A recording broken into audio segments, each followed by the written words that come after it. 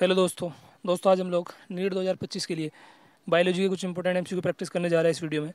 जो भी student 2025 NEET की तैयारी कर रहे हैं, उन सभी के लिए वीडियो काफ़ी इंपॉर्टेंट होने वाला है। वीडियो को स्टार्ट करते हैं। देखो, अपना पहला क्वेश्चन है। Name the chronic respiratory disorder cause mainly by cigarette smoking उस क्रोनिक डिसऑर्डर का क्रोनिक रेस्पिरेटरी डिसऑर्डर का हमको नाम बताना है, जो मेनली सिगरेट स्मोकिंग के द्वारा होता है। ऑप्शन ए में दे रखा है respiratory acidosis and respiratory alkalosis, या फिर इम्फाइसिमा या फिर अस्थमा। तो एन में साफ़ साफ़ लिखा हुआ है, इसका आंसर हो जाएगा इम्फाइसिमा नेक्स्ट क्वेश्चन है, the Q R S complex in a standard E C G represent.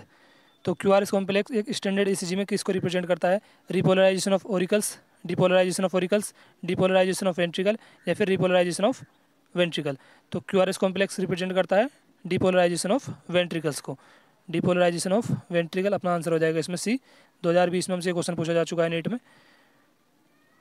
और ये डायग्राम को एन e में बता रखा है। Diagram representation of standard E C P wave and Q R S complex और इधर टी वेव तो P wave represent depolarisation of auricle and Q R S complex represent depolarisation of ventricle and T wave represent ventricular repolarisation तो हमसे पूछा था Q R S complex represent Q R S complex represent तो depolarisation of ventricle अपना answer हो जाएगा। Depolarisation of ventricles अगला question है मैचिंग वाला है तो फाइब्रिन कोगुलेशन ऑफ़ ब्लड हो जाएगा। एक का तीसरा तो ऑप्शन ये भी नहीं होगा, ये भी नहीं होगा, क्योंकि ए का फ़र्स्ट दे रखा है इसमें और इसमें दे रखा है ए का सेकंड तो ये दोनों तो गलत हो जाएँगे। एंड ग्लोबिलिन इसका आंसर हो जाएगा डिफेंस मैकेनिज्म, बी का पहला, एंड एल्ब्यूमिन, ऑस्मेटिक बैलेंस। तो अपना आंसर हो जाएगा ए का तीसरा, बी का पहला, एंड सी का दूसरा। आंसर हो जाएगा ए। अगला क्वेश्चन है पीजीआर से, प्लांट ग्रोथ रेगुलेटर से। The plant hormone use to destroy weed in a field is I B A यानी कि indole butyric acid I A indole acetic acid, naphthalene acetic acid, या two comma four D. तो two comma four D, ये एक weedicide होता है। जो kill करता है डाइकोट वीड को and don't affect monocot weed तो हमसे पूछा था the plant hormone use to destroy weed in a field तो आंसर हो जाएगा टू कोमो फोर डी दो हज़ार इक्कीस नीट का एक क्वेश्चन है। अगला क्वेश्चन है name the plant growth regulator which upon spring on sugar cane crop question था name the plant growth regulator which upon spring on sugar cane crop increase the length of system thus increase the yield of sugar cane crop तो अपना answer हो जाएगा इसमें gibberellin. अगला question है which one of the following hormone is not in not involve in sugar metabolism कौन सा hormone sugar metabolism में इन्वॉल्व नहीं होता?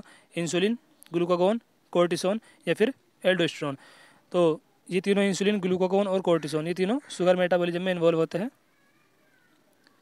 एल्डोस्ट्रोन जो है, ये एक साल्ट रिटेनिंग हार्मोन है। सोल्ट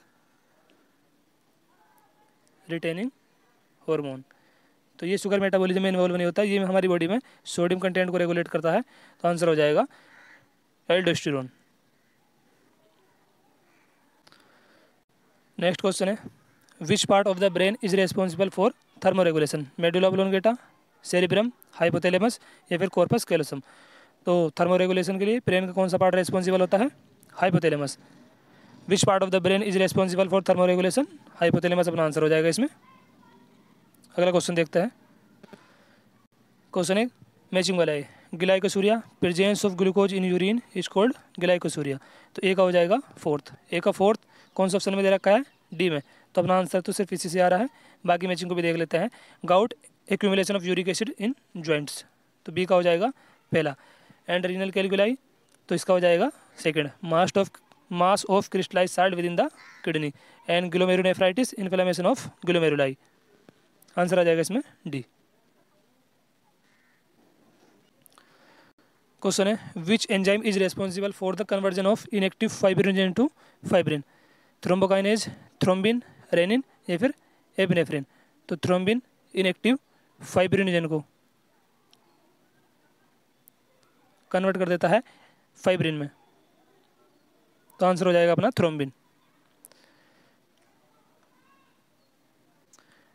क्वेश्चन है फिर मैचिंग वाला। Column one column two fibrinogen तो ये हो जाएगा ब्लड ग्लोटिंग एक का हो जाएगा दूसरा, एक का दूसरा सिर्फ़ ऑप्शन डी में दे रखा तो आंसर ये हो जाएगा अपना। एंड ग्लोबिलिन ये हो जाएगा defence mechanism and albumin osmotic balance अगला क्वेश्चन है टाइडल वॉल्यूम तो ये हो जाएगा 500 से 550 एल इंस्पिरेटरी जर वॉल्यूम ये हो जाएगा 2500 से 3000 एल तो ए का तीसरा और बी का पहला। इंस्पिरेटरी रिज़र्व वॉल्यूम 2500 से 3000 हज़ार एम बी का पहला सिर्फ़ इसी ऑप्शन में दे रखा है तो आंसर इसी से आ रहा है तो अपना आंसर हो जाएगा इसमें बी एक्सपायरेटरी रिज़र्व वॉल्यूम ये हो जाएगा एक हज़ार से ग्यारह सौ M L and residual volume ये हो जाएगा ग्यारह सौ से बारह सौ एम एल टाइडल वॉल्यूम तीसरा हो जाएगा इसका एंड बी का हो जाएगा पहला सी का हो जाएगा चौथा एंड डी का दूसरा. तो आंसर आ गया था इसमें अपना बी 2018 नीट का क्वेश्चन है। अगला क्वेश्चन है plant follow different pathway in response to environment or phase of life to form different kind of structure this ability is called maturity elasticity flexibility या फिर प्लास्टिसिटी तो इसमें अपना आंसर हो जाएगा plasticity plant follow different pathway in response to environment or phase of life to form different kind of structure this ability is called plasticity अगला question है matching वाला. एस फ़ेज़ तो एस फ़ेज़ में DNA का replication होता है तो P का हो जाएगा फोर्थ तो पहला और दूसरा, इन दोनों को तो एलिमिनेट करो। सी ओ डी में से अपना आंसर होगा। And G two phase protein की सिंथेसिस तो बी का क्यू का हो जाएगा पहला। एस का fourth and G two phase protein की synthesis quiescent stage inactive stage and G one phase interval between mitosis and initiation of DNA replication तो ए का हो जाएगा फोर्थ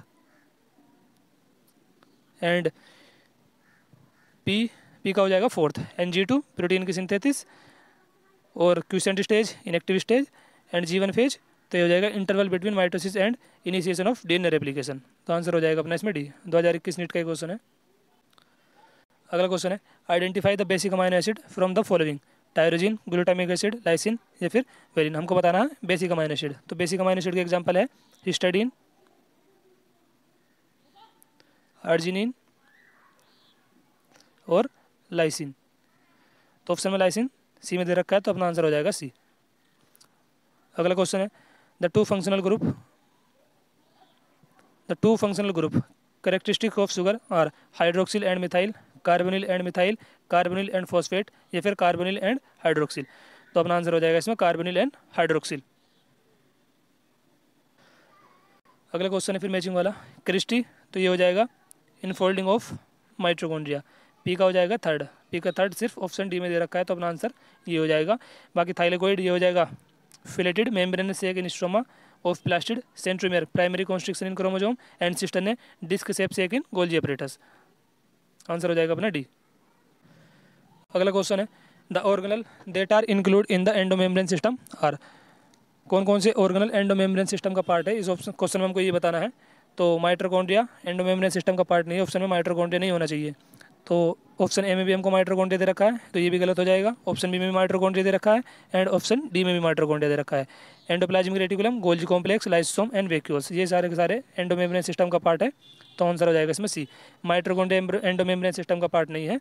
तो हमसे पूछा था, ऐसे ऑर्गनल का नाम बताओ, या ऐसे ऑर्गनल बताओ जो एंडोमेम्ब्रेन सिस्टम का पार्ट है। तो endoplasmic reticulum Golgi complex lysosome और वेक्यूल अपना आंसर हो जाएगा इसमें सी अगला क्वेश्चन है the epithelial tissue present on the inner surface of bronchioles and Fallopian tubes is glandular squamous ciliated या फिर क्यूबोइडल तो ciliated epithelial tissue present on the inner surface of bronchioles and Fallopian tubes तो answer हो जाएगा इसमें ciliated B अगला question है the cell junction called tight adhering and gap junction are found in connective tissue epithelial tissue neural tissue या फिर muscular tissue तो tight adhering और गैप जंक्शन पाए जाते हैं इपिथेलियल टिश्यू में.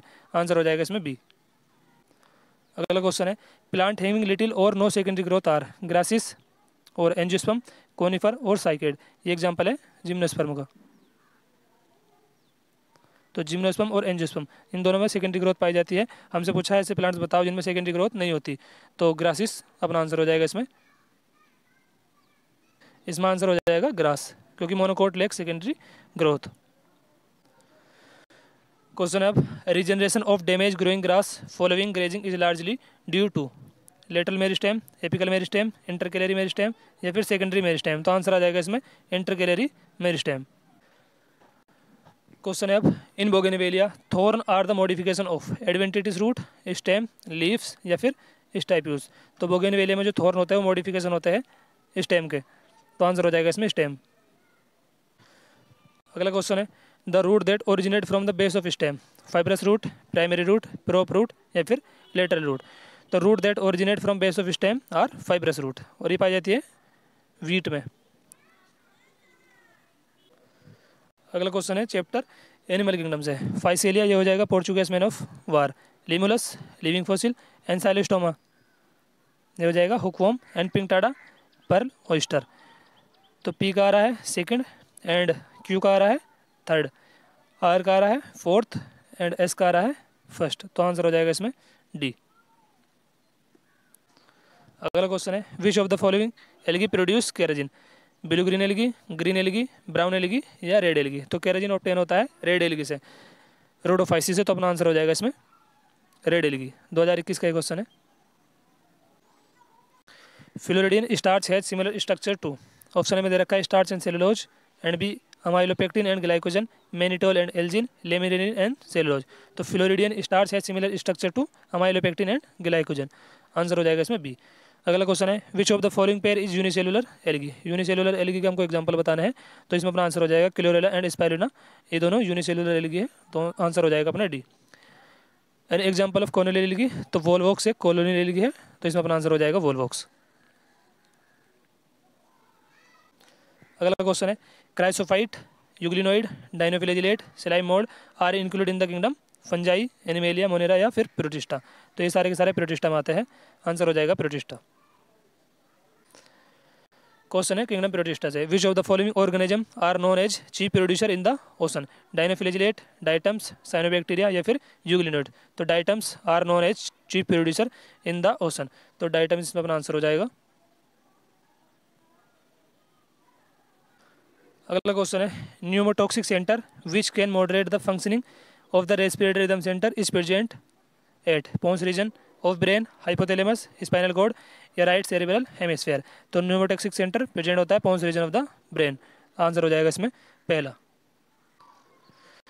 अगला क्वेश्चन है intercostal muscle occur in abdomen thigh ribs या फिर डायफ्राम तो intercostal muscle occur in ribs अगला क्वेश्चन है स्टेटमेंट बेस्ड क्वेश्चन है। A very significant contribution of meiosis is cell repair meiosis का काम नहीं होता है माइटोसिस आएगा यहाँ पे। A very significant contribution of mitosis is cell repair तो स्टेटमेंट फ़र्स्ट जो हो जाएगा, ये गलत हो जाएगा। स्टेटमेंट टू दे रखा है mitotic division take place in meristematic tissue of plant तो ये सही है। तो statement first is incorrect and two correct तो ऑप्शन इसका हो जाएगा C statement first is incorrect and two correct answer हो जाएगा इसमें। तीसरा। Suberin layer is found in conjunctive tissue pericycle hypodermis या फिर एंडोडर्मिस तो suberin layer is found in endodermis answer हो जाएगा इसमें एंडोडर्मिस अगला क्वेश्चन है the plant of wheat are belong to तो वीट फैमिली पोएसी को बिलोंग करता है ऑर्डर पोइलेस को. तो इसमें अपना आंसर हो जाएगा both one and two class dicot नहीं मोनोकोट मोनोकोटिलिडन चैप्टर जब हम लोग लिविंग पढ़ते हैं तो वहाँ पे टेबल दे रखी है एक उससे क्वेश्चन को बनाया गया है। इस टेबल से क्वेश्चन बनाया गया है। Organism with that taxonomic categories यहाँ पे हमें वीड बता रखा है। Family Poaceae order Poales and class monocotyledon wheat तो यहाँ से क्वेश्चन को बनाया गया है। अगला क्वेश्चन है which one of the following are absent in seeds ovule fruit nucellus या फिर फ्लोवर तो फ्रूट और फ्लोवर ये पाया जाता है एंजियोस्पर्म प्लांट में। और सिड्रस ये एक जिम्नोस्पर्म है। तो बी और डी ये दोनों पाए जाते हैं एंजियोस्पर्म में। हमसे पूछा था which one of the following are absent in citrus? तो बी और डी एबसेंट होगा तो अपना आंसर हो जाएगा इसका पहला बी एंड डी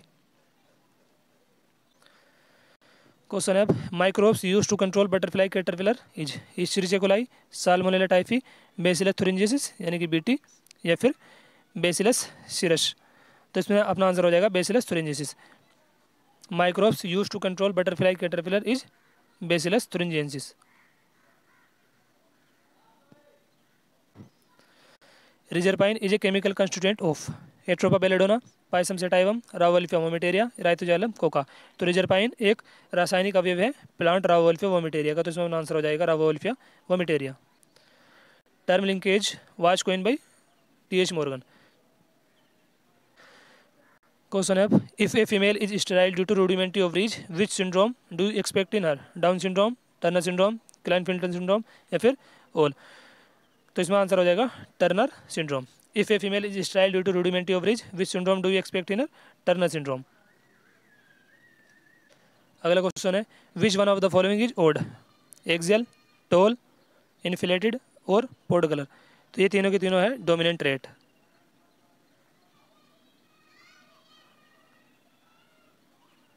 और पोर्ड कलर ये करेक्टर है। तो ये ओड हो जाएगा, ये अपना आंसर है इसमें। Which one of the following is odd pod colour in a D N A molecule तो यहाँ पे एडिनिन और थाइमिन यहाँ पे आपको दो हाइड्रोजन बॉन्ड देखने को मिलता है और ग्वानोसिन और साइटोसिन में तीन बॉन्ड तो आंसर हो जाएगा इसमें एडिनिन और थाइमिन के बीच में दो हाइड्रोजन बॉन्ड और साइटोसिन और ग्वानोसिन के बीच में ट्रिपल हाइड्रोजन बॉन्ड आंसर हो जाएगा इसमें पहला।